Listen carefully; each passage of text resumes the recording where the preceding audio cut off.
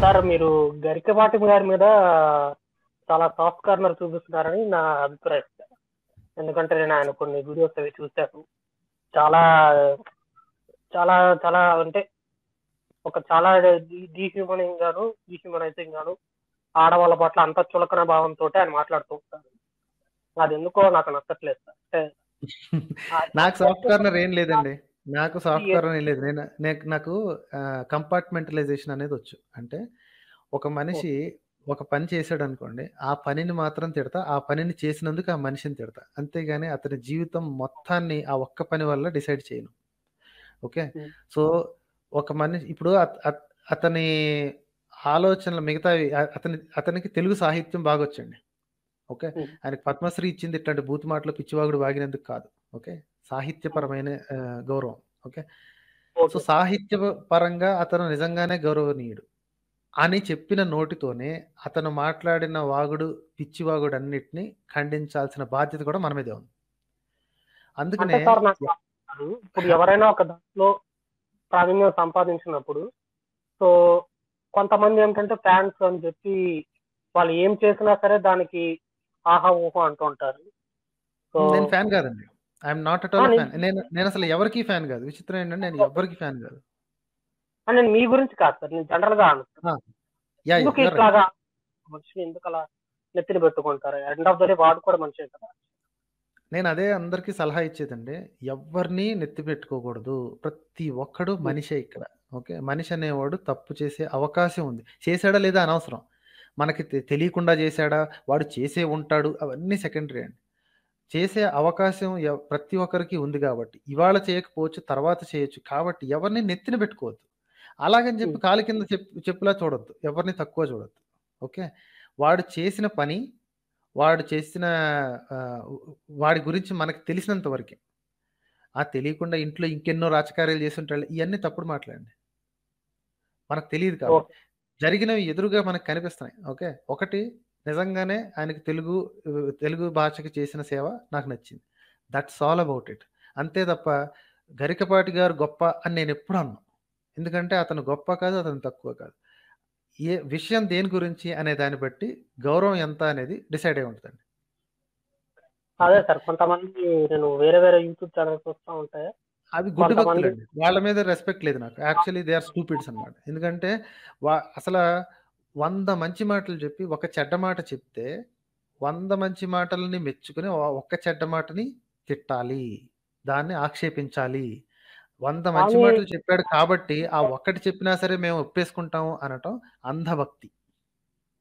మా ఫ్రెండ్స్లో కూడా కొంతమంది ఉన్నారు సార్ గరికపాటి గారి చెప్పే వినేవాళ్ళు.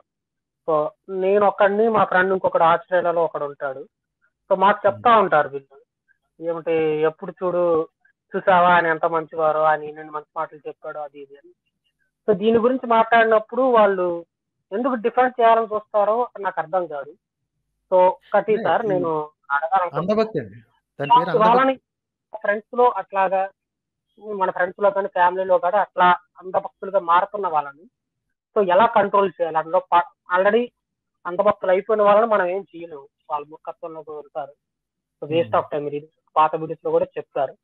ఆ ప్రాసెస్లో ఉన్న వాళ్ళని ఎలా మనం గుర్తించి వాళ్ళని అందులో ఎలా బయటకు తీసుకురావాలో నేను మిమ్మల్ని ఎప్పటి నుంచో అడుగుదాం అనుకుంటున్నాను. ఛాన్స్ ఆ, వచ్చింది కాబట్టి అది. యాక్చువల్లీ దీనికి నా దగ్గర ఒక ఎగ్జాంపుల్ ఉంది. అది కొంచెం గరికపాటి గారు మతం అనేది కాకుండా గరికపాటి గారు కానివ్వండి సినిమా వాళ్ళు కానివ్వండి స్పోర్ట్స్ వాళ్ళు కానివ్వండి ఎనీబడి ఎవరు ఎనీబడి ఒక అందభక్తిలోకి వెళ్ళకుండా మనం వెళ్తున్నారు అనే ఒక స్టేజ్లో ఉన్నప్పుడు ముఖ్యంగా టీనేజ్ పిల్లలు. సో వాళ్ళు ఎక్కువ అట్రాక్ట్ అవుతుంటారు కదా. సో వీళ్ళని ఎలా దానికి నా దగ్గర ఒక ఎగ్జాంపుల్ ఉంది.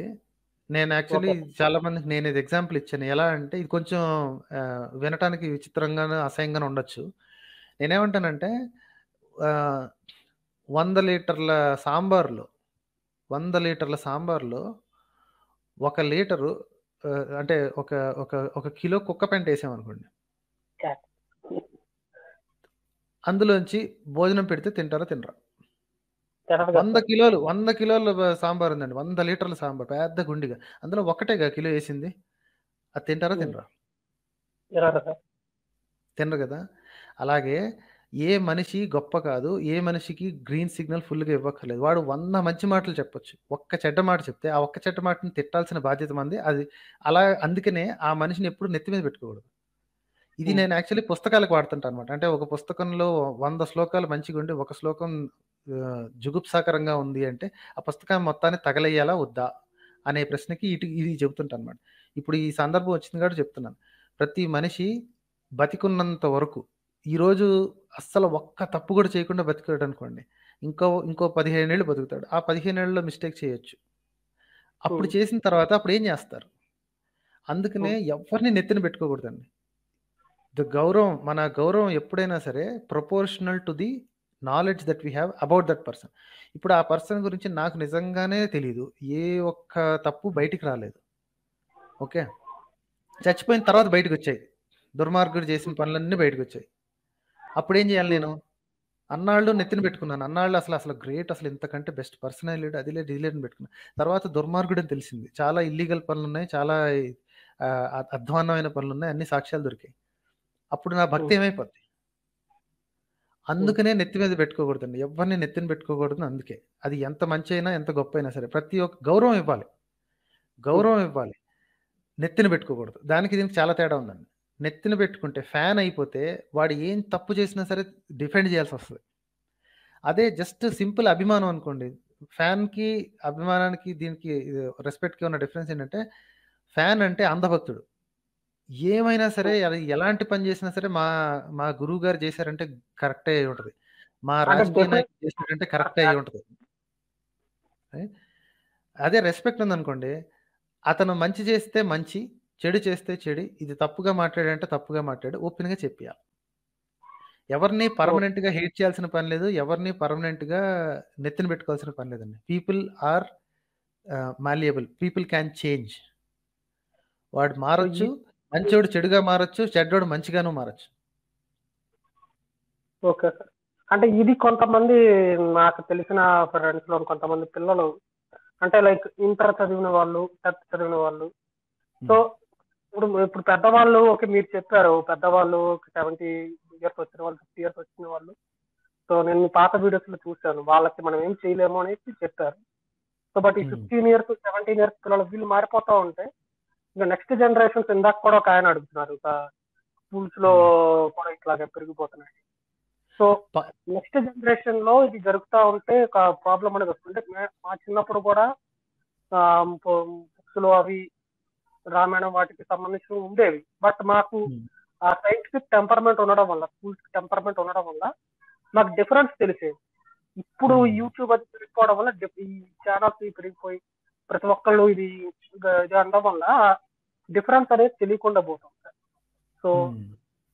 దాంతో పాటు ముఖ్యంగా ఈ వ్యక్తి బోధ అనేది ఎక్కువైపోయి ఈ స్వామీజీలని, వీళ్ళని, వాళ్ళని ఎక్కువగా ఈ చిన్న వయసులో అంటే 10థ్, ఇంటర్ ఉన్న పిల్లలు కూడా నమ్ముతున్నారు. సో, నాకు తెలిసిన హ్మ్. వాళ్ళలో కూడా కొంతమంది ఉన్నారు. బట్ డేంజరస్ అండి. ఈ ట్రెండ్ డేంజరస్. అలాగనే పాత వాళ్ళని కూడా అంటే ఆల్రెడీ అంధభక్తిలో ఇరుక్కుపోయిన వాళ్ళని కూడా కొన్ని కొన్ని క్వెషన్స్ అడిగి వాళ్ళని ఆహ్, కంట్రోల్ చేసుకోవచ్చు. ఎవరిని నెత్తిన పెట్టుకోవద్దు అని చెప్పాలి.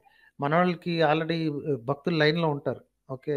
జగ్గడు ఆహ్, జగ్గి వాసుదేవ్ ఏం చేసినా సరే అది ఎలాంటి పిచ్చి పనైనా సరే, ఎలాంటి ఆహ్, నవ్వులాటకు చేసిన పనైనా సరే దాన్ని డిఫెండ్ చేయడానికి వస్తుంటారు కొంతమంది. ఓకే. ఆయన సో.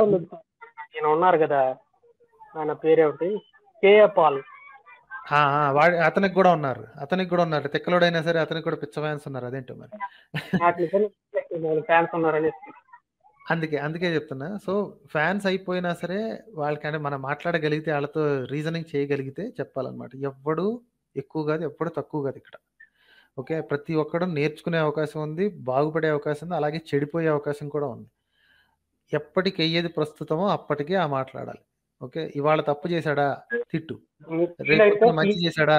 మెచ్చుకో. అంతే. సార్ ఒక చిన్న రిక్వెస్ట్ సార్. మీరు వీలైతే దీని గురించి ఇది ఎట్లాగా తగ్గించుకోవాలి అనే దాని గురించి వీలైతే ఒక డెడికేటెడ్ వీడియో మీరు ఒకటి చేస్తే బెటర్‌గా ఉంటుందని నా ఫీలింగ్. టీనేజ్ పిల్లలు పేరెంట్స్ ఎట్లా కంట్రోల్ చేయాలి?